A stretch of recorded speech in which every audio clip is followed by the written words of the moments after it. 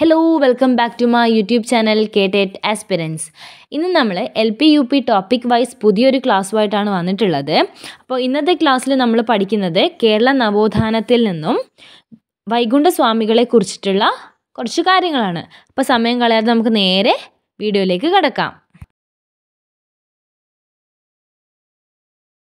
അപ്പോൾ നമ്മൾ പറഞ്ഞു ഇന്നത്തെ ക്ലാസ്സിൽ നമ്മൾ കേരള നവോത്ഥാനത്തിൽ വൈകുണ്ഠ സ്വാമികളെ കുറിച്ചിട്ടാണ് പഠിക്കാൻ പോകുന്നത്. അപ്പോൾ നമുക്ക് ഒന്നാമത്തെ ചോദ്യം നോക്കാം.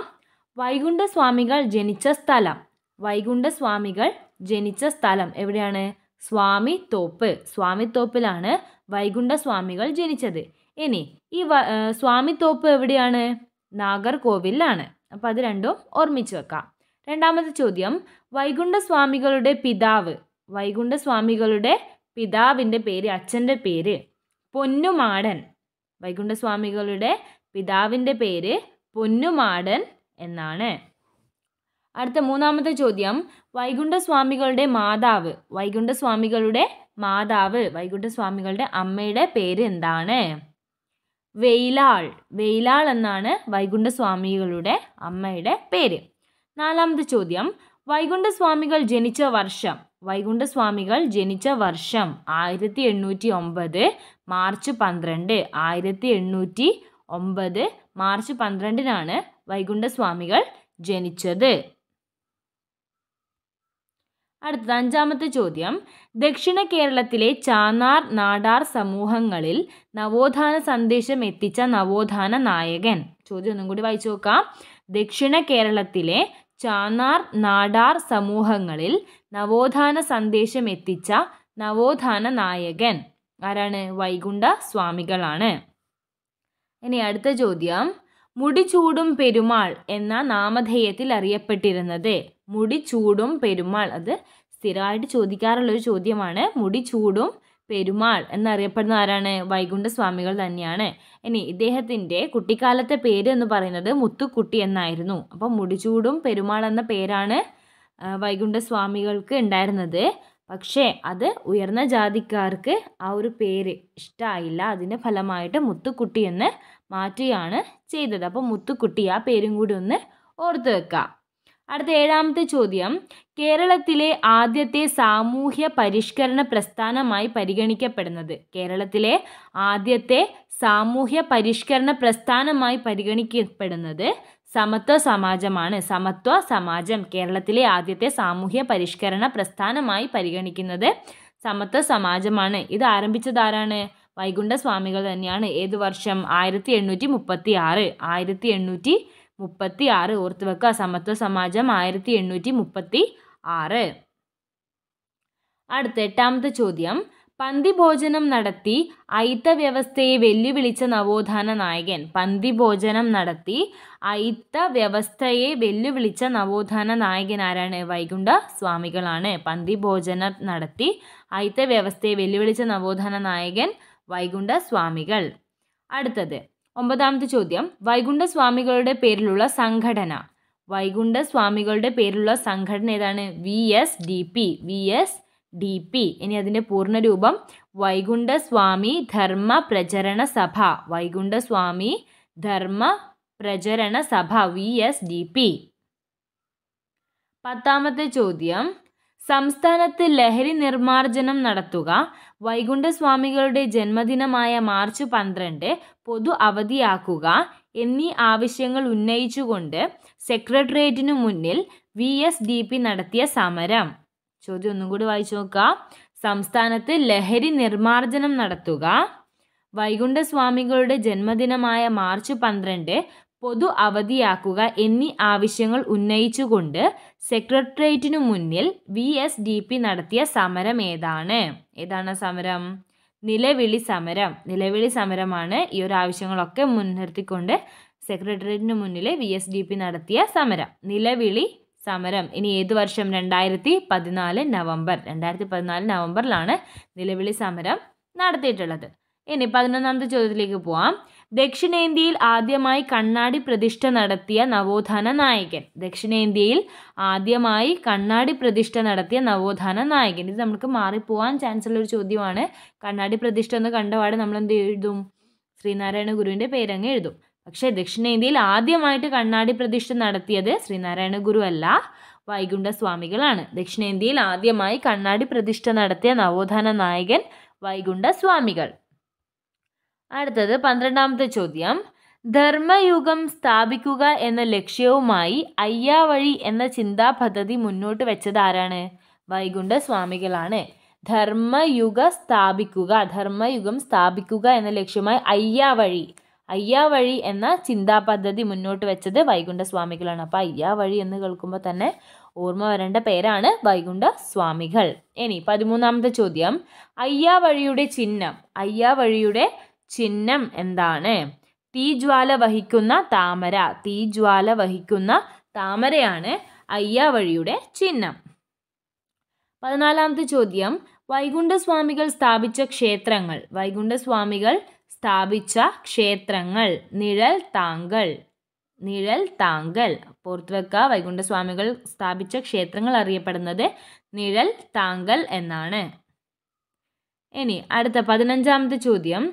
തിരുവിതാംകൂർ ഭരണത്തെ വൈകുണ്ഠസ്വാമികൾ വിശേഷിപ്പിച്ചത് എങ്ങനെയാണ്? തിരുവിതാംകൂർ ഭരണത്തെ വൈകുണ്ഠസ്വാമികൾ വിശേഷിപ്പിച്ചത് എങ്ങനെയാണ്? അനന്തപുരിയിലെ നീചഭരണം അനന്തപുരിയിലെ നീചഭരണം എന്നാണ് തിരുവിതാംകൂർ ഭരണത്തെ വൈകുണ്ഠസ്വാമികൾ വിശേഷിപ്പിച്ചത്. ഇനി അടുത്ത ചോദ്യം നോക്കിയേ. ബ്രിട്ടീഷ് ഭരണത്തെ വൈകുണ്ഠസ്വാമികൾ വിശേഷിപ്പിച്ചത് എങ്ങനെ? ബ്രിട്ടീഷ് ഭരണത്തെ തിരുവിതാംകൂർ ഭരണത്തെ അനന്തപുരിയിലെ നീചഭരണമെന്നും ബ്രിട്ടീഷ് ഭരണത്തെ അദ്ദേഹം എങ്ങനെയാണ് വിശേഷിപ്പിച്ചത്? വെണ്ണീച ഭരണം അല്ലെങ്കിൽ വെളുത്ത പിശാച്ച് അല്ലേ? അപ്പോൾ ബ്രിട്ടീഷുകാരുടെ ഭരണത്തെ വെണ്ണീച ഭരണമെന്നും വെളുത്ത പിശാച് എന്നുമാണ് വിശേഷിപ്പിച്ചിരുന്നത്. അതുപോലെ തന്നെ തിരുവിതാംകൂർ ഭരണത്തെ അനന്തപുരിയിലെ നീച ഭരണമെന്നുമായിട്ടാണ് വിശേഷിപ്പിച്ചിട്ടുള്ളത്. ഇനി പതിനാ പതിനേഴാമത്തെ ചോദ്യം. സ്വാതി തിരുനാളിന്റെ കാലത്ത് വൈകുണ്ഠസ്വാമികളെ അറസ്റ്റ് ചെയ്ത് ജയിലിൽ പാർപ്പിച്ച സ്ഥലം. സ്വാതി തിരുനാളിന്റെ കാലത്ത് വൈകുണ്ഠസ്വാമികളെ അറസ്റ്റ് ചെയ്ത് ജയിലിൽ പാർപ്പിച്ച സ്ഥലം ഏതാണ്? ശിങ്കാരത്തോപ്പ് ശിങ്കാരത്തോപ്പ്. ഇനി പതിനെട്ടാമത്തെ ചോദ്യം. ശിങ്കാരത്തോപ്പ് ജയിലിൽ നിന്നും വൈകുണ്ഠസ്വാമികൾ മോചിതനായ വർഷം. ശിങ്കാരത്തോപ്പ് ജയിലിൽ നിന്നും വൈകുണ്ഠസ്വാമികൾ മോചിതനായ വർഷം. ആയിരത്തി എണ്ണൂറ്റി മുപ്പത്തി ഒമ്പത് മാർച്ച് ഇരുപത്തി ആറ്. ആയിരത്തി എണ്ണൂറ്റി മുപ്പത്തി ഒമ്പത് ആയിരത്തി എണ്ണൂറ്റി മുപ്പത്തി ഒമ്പത് മാർച്ച് ഇരുപത്തി ആറ് ഇനി പത്തൊമ്പതാമത്തെ ചോദ്യം. മാർച്ച് ഇരുപത്തിയാറ് പൊതു അവധിയായി പ്രഖ്യാപിച്ച ജില്ല.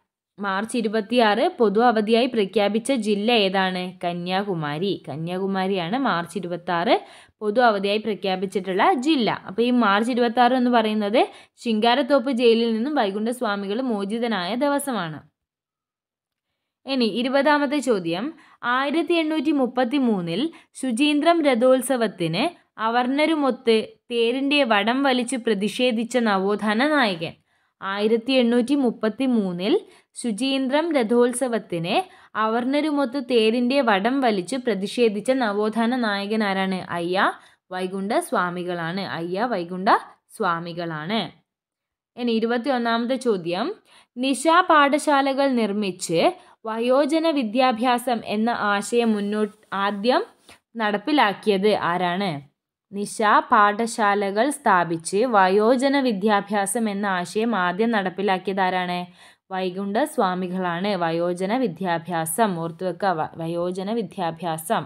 വൈകുണ്ഠ സ്വാമികൾ. ഇരുപത്തിരണ്ടാമത്തെ ചോദ്യം. വിഷ്ണുവിന്റെ അവതാരമാണ് താൻ എന്ന് സ്വയം പ്രഖ്യാപിച്ച നവോത്ഥാന നായകൻ. വിഷ്ണുവിന്റെ അവതാരമാണ് താൻ. വിഷ്ണുവിന്റെ അവതാരമാണ് താൻ എന്ന് സ്വയം വിശേഷിപ്പിച്ച നവോത്ഥാന നായകൻ ആരാണ്? വൈകുണ്ഠ സ്വാമികളാണ്. ഇനി അടുത്തത് വേല ചെയ്താൽ കൂലി കിട്ടണം എന്നത് ആരുടെ മുദ്രാവാക്യമാണ്? ഇത് നമ്മുടെ പരീക്ഷകളിലൊക്കെ കണ്ടുവരുന്ന ഒരു ചോദ്യമാണ്. വേല ചെയ്താൽ കൂലി കിട്ടണം എന്നത് ആരുടെ മുദ്രാവാക്യമാണ്? വൈകുണ്ഠ സ്വാമികളുടെ മുദ്രാവാക്യമാണ്. വേല ചെയ്താൽ കൂലി കിട്ടണം. ഇനി അടുത്ത ചോദ്യം. വൈകുണ്ഠസ്വാമികളുടെ പ്രധാന ശിഷ്യൻ. വൈകുണ്ഠസ്വാമികളുടെ പ്രധാന ശിഷ്യൻ ആരാണ്? തൈക്കാട് അയ്യ. തൈക്കാട് അയ്യയാണ് വൈകുണ്ഠസ്വാമികളുടെ പ്രധാന ശിഷ്യൻ. ഇനി അടുത്ത ചോദ്യം. വിശുദ്ധിയോടു കൂടിയ ചിട്ടയായ ജീവിതം നയിക്കുന്നതിന് പരിശീലനം നൽകാനായി വൈകുണ്ഠസ്വാമികൾ സ്ഥാപിച്ച കൂട്ടായ്മ. വിശുദ്ധിയോടു കൂടിയ ചിട്ടയായ ജീവിതം നയിക്കുന്നതിന് പരിശീലനം നൽകാനായി വൈകുണ്ഠസ്വാമികൾ സ്ഥാപിച്ച കൂട്ടായ്മ. ചോദ്യം ഒന്നും കൂടി വായിക്കാം വിശുദ്ധിയോടുകൂടിയ ചിട്ടയായ ജീവിതം നയിക്കുന്നതിന് പരിശീലനം നൽകാനായി വൈകുണ്ഠസ്വാമികൾ സ്ഥാപിച്ച കൂട്ടായ്മ ഏതാണ്? തൂവയൽ പന്തി കൂട്ടായ്മ. തൂവയൽ പന്തി കൂട്ടായ്മ. അപ്പം അതൊന്ന് ഓർത്ത് വെക്കാം. ഇനി അടുത്തത് ഇരുപത്തിയാറാമത്തെ ചോദ്യം. വൈകുണ്ഠസ്വാമികൾ നിർമ്മിച്ച പൊതുകിണർ അറിയപ്പെടുന്നത്. വൈകുണ്ഠസ്വാമികൾ നിർമ്മിച്ച പൊതുകിണർ അറിയപ്പെടുന്നത് മുന്തിരി കിണർ എന്നാണ്. മുന്തിരി കിണർ. അടുത്ത ഇരുപത്തിയേഴാമത്തെ ചോദ്യം. ഒൻറേ ജാതി ഒൻറേ മതം ഒൻറേ ദൈവം ഒൻറേ ഉലകം ഒൻറേ അരിശ് ഒൻറേ നീതി എന്ന ആശയം ആരുടേതാണ്? ഒന്നും കൂടി നോക്കാം. ഒൻറേ ജാതി ഒൻറേ മതം ഒൻറേ ദൈവം ഒൻറേ ഉലകം ഒൻറേ അരശ് ഒൻറേ നീതി എന്ന ആശയം ആരുടേതാണ്? വൈകുണ്ഠ സ്വാമികളുടേതാണ്. അത് ഓർത്തു വെക്കാം. അടുത്തത് ജാതി ഒന്ന് മതം ഒന്ന് കുലം ഒന്ന് ലോകം ഒന്ന് എന്ന സന്ദേശം നൽകിയത് ആരാണ്? അതും വൈകുണ്ഠ സ്വാമികൾ തന്നെയാണ്. ജാതി ഒന്ന് മതം ഒന്ന് കുലം ഒന്ന് ലോകം ഒന്ന് എന്ന സന്ദേശം നൽകിയത് വൈകുണ്ഠ സ്വാമികളാണ്. അപ്പോൾ ഇത്രയാണ് നമ്മുടെ ഇന്നത്തെ ക്ലാസ്സിൽ ഉൾപ്പെടുത്തിയിട്ടുള്ളത്. അപ്പോൾ ഈ ഒരു വീഡിയോ നിങ്ങൾക്ക് ഇഷ്ടപ്പെട്ടുവെങ്കിൽ ലൈക്ക് ചെയ്യുക അതുപോലെ തന്നെ മറ്റുള്ളവർക്ക് ഉപകാരപ്പെടുമെന്ന് തോന്നിയാൽ ഷെയർ ചെയ്യുക. അതുപോലെ തന്നെ ആദ്യമായിട്ടാണ് നിങ്ങൾ ഈ ഒരു ചാനൽ കാണുന്നതെങ്കിൽ സബ്സ്ക്രൈബ് ചെയ്യാനും മറക്കരുത്. അപ്പോൾ നമുക്കിനി അടുത്ത വീഡിയോയിൽ കാണാം.